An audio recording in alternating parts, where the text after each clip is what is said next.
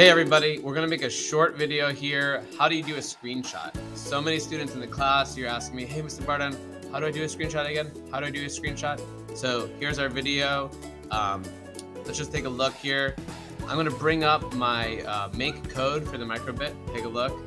Uh, now that I've finished this game, I need to get, I need to post this um, doc, this code into my doc, right? So the very first thing I'm gonna do is I need to hit control, uh, Windows button, Shift, S, and that will bring my screen to like this gray mode with the crosshairs.